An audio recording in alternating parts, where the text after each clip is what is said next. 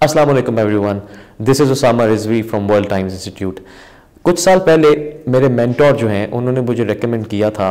कि आपने एक मंथ में एक अच्छी किताब ख़त्म करनी है। और from the past four five years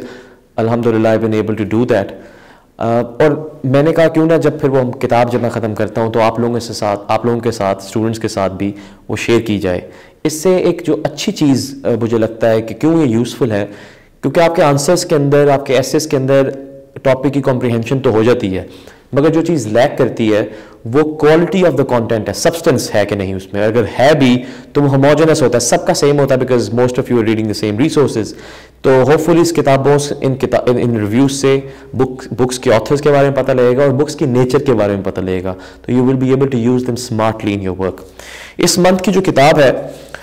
for the book for the month of December it was Changing World Order uh, by Ray Dalio. Ray Dalio is the founder of the biggest hedge fund in the world और uh, इसने ये किताब जो लिखी है ये अपनी learning के बाद लिखी है सो so, अक्सर पाकिस्तान में कहा जाता है कि किताबें पढ़ने से कुछ नहीं होता है रियल वर्ल्ड डिफरेंट है लेकिन ये किताबें रियल वर्ल्ड के ऊपर होती हैं। तो उसने इन किताबों को पढ़ने के बाद इस किताब को पढ़ने लिखने के बाद जो लर्निंग्स ली हैं हिस्ट्री की उससे एक उससे उसने सबसे बड़ा हेज फंड बनाया दुनिया का। इट मीन्स के he was also successful monetarily ये किताब क्यों पढ़नी चाहिए आपको? सबसे पहले तो उसकी ओरिएंटेशन बड़ी अच्छी है। इस किताब को उसने इस तरह डिवाइड किया है कि इस किताब में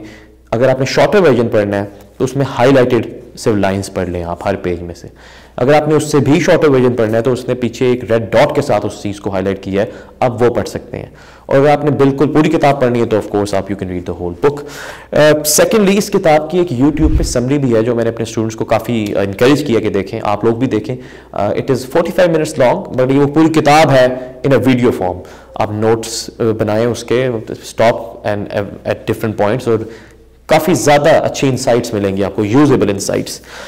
इसके अलावा why I recommend this book is that आजकल जो ग्लोबल पॉलिटिक्स और international relation even at at home Pakistan के अंदर जो पूरे हालात हैं सोशियो पोलिटिकल इकोनॉमिक उसके अंदर एक फ्रेमवर्क फ्रेमवर्क्स की ज़रूरत है उनको एनालाइज करने के लिए. अक्सर आंसर स्कैटर्ड होते हैं there is a lot of information मगर वो किसी तरह, किसी फॉर्म में नहीं होती. तो उस किताब के अंदर फ्रेमवर्क्स हैं फॉर इंस्टेंस वो कहते हैं कि, वो कहते हैं कि दुनिया में जो भी एम्पायर्स या कंट्रीज़ तरक्की करती हैं या डिक्लाइन करती हैं, वो तीन फैक्टर्स होते हैं. Long term debt cycle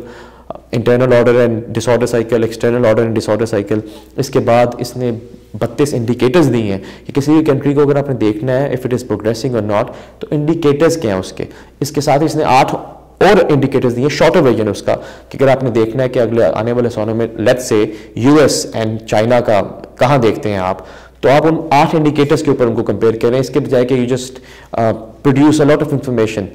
तो इंडिकेटर्स और फ्रेमवर्क्स को यूज़ करें। अगर आप तो आपका आंसर आपके आर्ग्यूमेंट्स कोजेंट लगते हैं कोहेरेंट लगते हैं, उनमें वेट लगता ज़्यादा।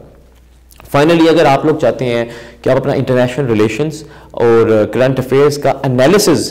इंप्रूव करें, उसको एनरिच करें तो this book is really helpful very very useful as well last में मैं आपको एक इसमें इस, इसकी कोटेशन ज़रूर पढ़ के सुनाना चाहूँगा जो I thought was really good वो कहता है कि जी no system of government no economic system no currency and no empire last forever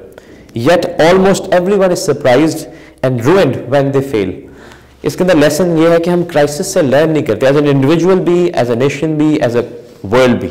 तो इस चीज़ को ज़रूर पढ़िएगा और और ब्लैक स्वान का और टेल रिस्क का आइडिया इसके साथ रिलेटेड है। I hope you like the review and will see you next month with another book thank you